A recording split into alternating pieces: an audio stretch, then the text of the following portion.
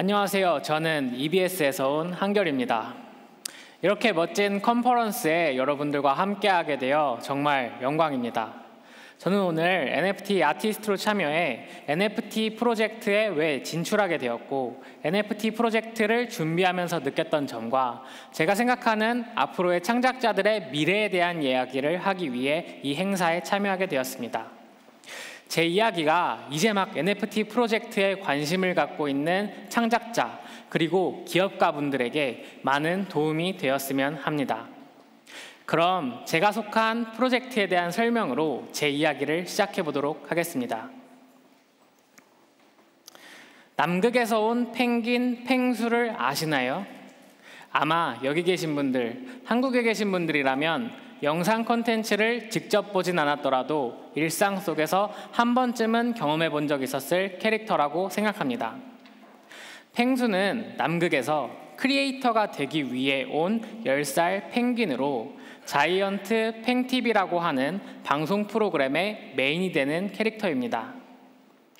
자이언트 팽TV는 2019년 4월 유튜브와 EBS 방송을 통해 정식 런칭되었으며 9개월도 채 되지 않는 기간 동안 200만 명이 넘는 구독자를 달성하기도 하였고 영상 콘텐츠를 기반으로 하여 출판이나 공연, 전시, 음악, 머천다이징 상품 등 다양한 IP 사업 영역을 확장해 나가고 있는 저희 회사의 대표 IP입니다.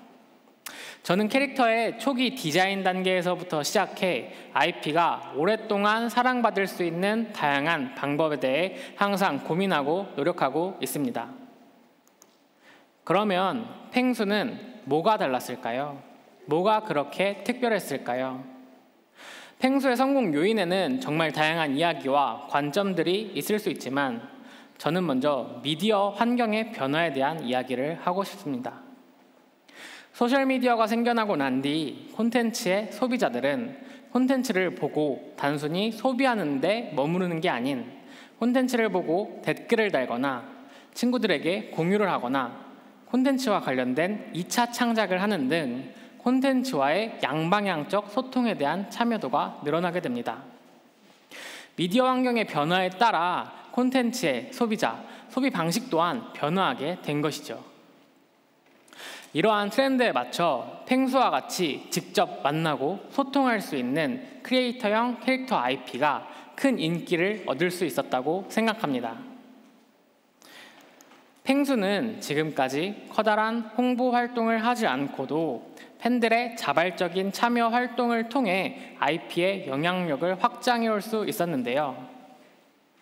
펭수의 팬들은 스스로 second creator가 되어 펭수와 관련된 컨텐츠들을 재생산하고 IP의 영향력을 자발적으로 확장시켜주는 아주 단단하고 끈끈한 커뮤니티를 구성해주고 있습니다.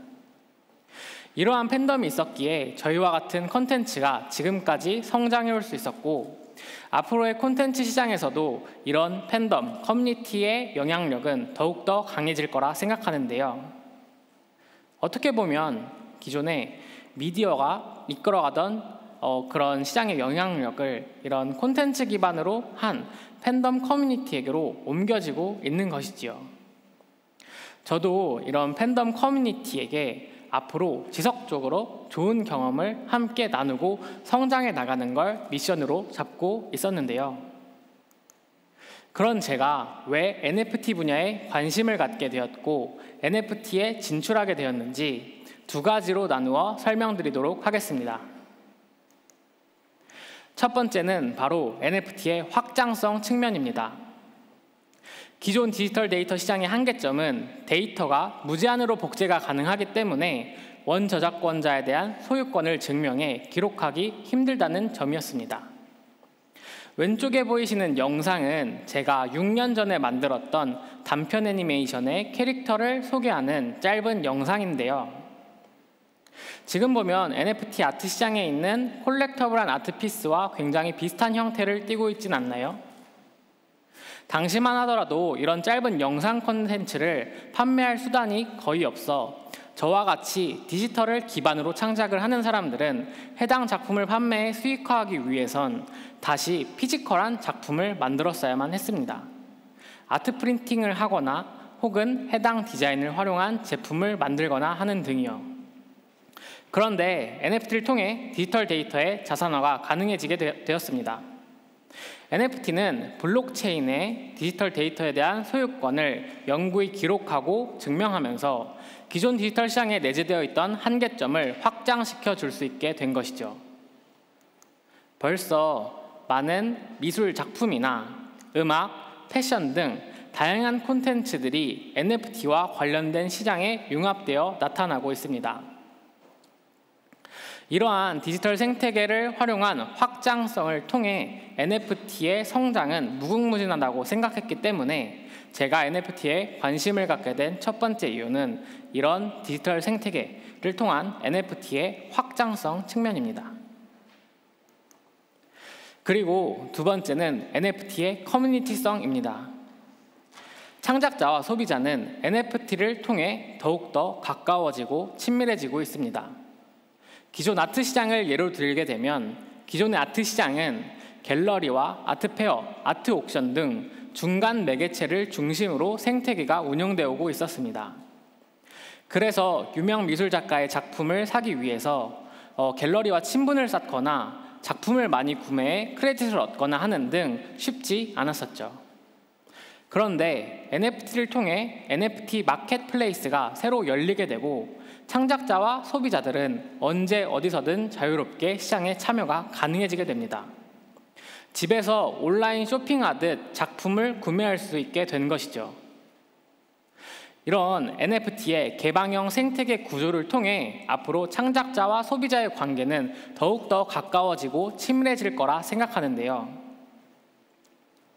어떻게 보면 앞으로의 시대에서 이런 창작자와 소비자의 관계가 얼마나 끈끈하게 연결되어 있는지가 프로젝트의 성공을 판가름하는 차별점이 될 것입니다. 많은 NFT들이 어, 그 커뮤니티에 대한 비전에 대한 이야기를 항상 합니다. 어떤 커뮤니티를 구성하는지에 따라 어, NFT의 프로젝트의 가치가 형성되게 되고 그리고 여기에 추가적인 기능이나 서비스를 넣음으로써 어, NFT 프로젝트의 지속성을 얻고 있죠. 저는 이렇듯 NFT 시장에서 확장성과 커뮤니티 측면에 많은 기회가 있다고 생각하게 되었고 NFT의 진출을 결심하게 됩니다. 아마 많은 분들이 NFT를 준비하면서 하게 될 고민점도 비슷할 거라 생각하는데요. 제가 생각했던 고민점에 대해서도 세 가지로 나누어 설명드리도록 하겠습니다. 첫 번째는 바로 블록체인의 선정입니다. 지금이야 NFT라는 개념이 많은 분들에게 익숙해진 상태긴 하지만 제가 NFT를 준비하던 때만 하더라도 NFT의 개념조차 생소하던 때였습니다. 어떤 블록체인을 선정하는지에 따라 대상하는 타겟과 마켓이 달라질 수 있기 때문에 어떤 블록체인을 선정하는지는 정말 중요한 문제였어요. 이더리움이 가장 큰 마켓을 형성하고 있기는 하지만 저희와 같이 코인과 이런 블록체인 생태계에 대한 경험이 적은 그런 팬덤분들로 구성된 IP의 오너들은 사용자의 편의성 측면이 가장 중요한 부분이었습니다. 거기다 해외 자산 거래에 대한 규정조차 아직 재정비되고 있는 상태이다 보니 저희는 자연스럽게 국내로 시선을 돌릴 수밖에 없었고 업비트에서 NFT 마켓을 런칭한다는 이야기를 듣게 되어 저희 사용자와 사용자 편의성 측면에서 가장 잘 맞는다 생각하였고 추가적으로 환경성, 안정성까지 저희 사용자와 가장 잘 맞는다는 판단을 하였기에 NFT를 업비트를 통해 발매하기로 하였습니다. 실제로 저희 펭수 NFT를 구매하기 위해 어, 코인 구매를 처음 해왔다는 팬들이 있어 저희와 같이 기존 블록체인 생태계가 아닌 곳에서 비즈니스를 운영하던 IP의 오너들은 비슷한 고민들을 하게 될 것이라 생각합니다. 그리고 두 번째는 NFT의 사용성 측면입니다. 아트피스부터 PFP와 같은 콜렉터블, 엑스토원과 같은 게임까지 벌써 다양한 NFT들이 저마다의 사용성을 가지고 NFT와 관련된 프로젝트를 확장해 오고 있습니다. 이렇게 미리 형성된 시장에 맞춰 페이스북이나 인스타, 트위터와 같은 대형 IT 기업들에서도 이런 NFT를 활용할 수 있는 다양한 서비스들을 내놓고 있죠. 저는 시장이 성숙해질수록 NFT가 필요로 해지는 정말 다양한 서비스들이 생길 거라 생각하였고 저희 IP의 팬덤 분들도 가장 좋아하는 저희 IP를 가지고 이 시장에 참여할 수 있도록 저희가 가장 잘 할 수 있고 잘 만들 수 있는 형태인 디지털 굿즈의 느낌이 나는 아트피스를 제작하기로 하였습니다. 그리고 세 번째 고민점은 디자인에 대한 부분입니다. 콘텐츠의 디자인에 대해 고민하는 건 언제나 어려운 일입니다. 저희는 IP의 모습을 가장 잘 담을 수 있으면서도 기존 콘텐츠 시장과는 다른 어, 이 디지털 생태계 속 NFT의 트렌드와도 잘 맞는 아트웍을 찾았어야만 했고 현재는 NFT 시장의 원조격이 된 크립토펑크의 pixel art부터 비교적 resource가 적게 드는 2D artwork. resource는 많이 들지만 앞으로 디지털 생태계 속 가공성이 뛰어난 3D 아트웍까지 다양한 artwork들을 고민해 보았을 때 앞으로 열리게 될 미래 콘텐츠 시장, 메타버스, VR, AR과 같은 미래 콘텐츠 시장에서 살아남기 위해 우리는 우리에게 가장 적합하다고 생각되는 3D 아트웍을 통해 NFT를 제작하기로 하였습니다. 그렇게 만들게 된 제 첫 번째 시리즈물입니다. 왼쪽에 보이는 펭수의 하루라는 작품의 경우 펭수의 방을 모티브로 하여 펭수의 일상을 보여주는 art piece 작품입니다. 하나밖에 발매하지 않은 limited한 edition이며 경매 방식을 통해 진행하였습니다. 그리고 제가 처음으로 제작했던 NFT 작품이다 보니 어, 가장 오랜 시간 동안 공들여서 제작했던 작품이기도 합니다. 어, 이런 펭수의 다양한 크기와 동작들을 통해 하나하나 관찰해보는 재미를 주려고 했고, 그리고 이 펭수의 어, 작은 소품들 사이에도 펭수와 관련된 디자인을 활용하여 펭수와 관련된 다양한 어, 소품과 디자인들을 찾아보는 재미를 주려고 했습니다. 어, 경매 방식을 통해 펭수의 상품을 판매한 건 처음이다 보니 어, 높은 낙찰가에 낙찰되어 NFT 시장의 뜨거운 열기를 느낄 수 있었습니다. 그리고 오른쪽에 보이는 펭수의 시그니처 포즈와 같은 경우에도 어, 발매한 지 15초도 되지 않아 600piece가 모두 완판되어 펭수의 성공적인 NFT 데뷔를 마칠 수 있었습니다. 펭수 NFT 발매 이후 펭수와 관련된 다양한 커뮤니티에 펭수 NFT와 관련된 긍정적인 반응들이 있어 정말 즐거운 마음이 들었습니다. 그리고 두 번째로는 펭수의 새로운 모습을 보여주는 우주 시리즈 테마의 NFT를 발매하기도 하였는데요. 어, 기존 IP에서 볼 수 없었던 다양한 IP의 모습을 이렇게 NFT 시리즈들을 통해 다양하게 준비하고 있으니 앞으로 기대해 주시면 감사하겠습니다. 그리고 NFT를 통해 새로 형성된 NFT 커뮤니티와의 유대감을 위해 이렇게 airdrop을 진행하거나 메타버스 공간인 세컨블록에서 NFT를 전시하거나 하는 등 NFT를 활용한 다양한 서비스에도 관심을 갖고 있으니 앞으로 많은 기대 부탁드립니다. 그리고 앞으로의 콘텐츠 시장은 우리에게 어떤 모습으로 다가올까요? 미래 콘텐츠 시장의 화두는 단연 메타버스이죠. 저 또한 미래 콘텐츠 시장의 어, 플랫폼의 형태가 메타버스가 될 것이라는 데는 전혀 이견이 없습니다. SNS와 같은 life logging, 그리고 게임과 같은 VR, AR, 현실 세계를 본따 만든 mirror world까지 우리는 이미 넓은 의미의 메타버스 세상을 경험하고 있다고 합니다. 코로나로 인해 비대면에 대한 수요가 급증한 지금 이런 메타버스와 같은 가상 공간을 고도화하려는 움직임이 활발해지고 있습니다. 이는 곧 어, 우리에게 메타버스와 같은 어, 고차원적인 가상 세계를 경험할 준비가 되어 있다는 뜻이기도 하겠지요. 이런 메타버스 속에서 NFT의 역할은 더욱더 중요해질 거라 생각합니다. 기존 가상 공간에서 아이템을 얻거나 돈을 모으거나 경험을 쌓더라도 어, 현실 세계랑은 통용되기 힘든 일종의 디지털 데이터였을 뿐입니다.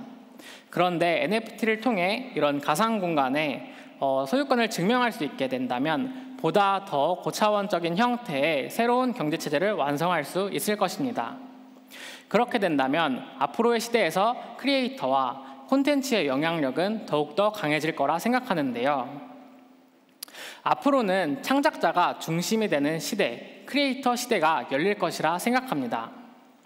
앞으로 많은 창작자들이 자신의 창작을 하며 작더라도 본인만의 커뮤니티를 운영하는 세상이 강화될 거라 생각합니다. 펭수는 creator가 되기 위해 한국으로 왔는데요. 펭수가 창작자, creator가 되기 위해 한국으로 오기까지 어떤 미래를 보고 오게 된 것일까요? 앞으로의 미래 시대에 창작자 모두가 크리에이터가 되는 시대를 꿈꾸며 이번 발표를 여기서 마치도록 하겠습니다. 지금까지 들어주셔서 감사합니다. 한결이었습니다. 네, 감사합니다. 그럼 이제 한결 디렉터에게 들어온 질문 중 몇 가지를 소개해 드리도록 하겠습니다. 네, 첫 번째 질문인데요. NFT가 실물 굿즈만큼 큰 인기를 끌기 위해서는 어떤 부분을 개선해야 할까요? 일단 콘텐츠에 대한 굿즈나 상품을 소비하는 소비자들은 엄청 똑똑한 사람들이라고 생각합니다. 그래서 콘텐츠에 단순한 기술을 붙였다고 해서 높은 인기와 가치를 얻을 거라고 생각하지 않습니다. 그래서 실물 굿즈만큼 큰 인기를 끌기 위해서는 당연히 좋은 콘텐츠가 뒷받침되어야 된다고 생각합니다. 네, 답변 감사드립니다. 두 번째 질문입니다. 아직은 유명 IP 기반 또는 유명 작가의 NFT 위주인 것 같습니다. 신인 NFT 창작자가 선택받는 NFT를 만들려면 어떤 것에 주목해야 할까요? 어, 신인 작가가 NFT 작가가 되기 위해서는 일단 시도를 해보는 게 가장 중요한 것 같습니다. 아까 얘기 드렸듯 저는 앞으로 많은 창작자들이 작더라도 본인만의 커뮤니티를 운영할 것이라 생각하는데요. 되게 적더라도 본인만의 커뮤니티를 단단하게 꾸리고 운영해 나가는 능력을 길러 나가면서 NFT, NFT에 진출하면 좋을 것 같습니다. 네, 좋은 답변 감사합니다. 세 번째 질문입니다. 팽TV 브랜드 스튜디오에서 팽수 외에 다른 캐릭터를 기획하고 계신지 궁금합니다. 네, 최근에 딩대라는 콘텐츠에 끼리 벙철이란 캐릭터를 만들기도 했고요. 앞으로도 다양한 캐릭터를 준비 중에 있습니다. 네, 어, 답변 감사드립니다. 그럼 이제까지 한결 디렉터님께서 발표를 해주셨는데요. 다시 한번 큰 박수 부탁드립니다. 감사합니다.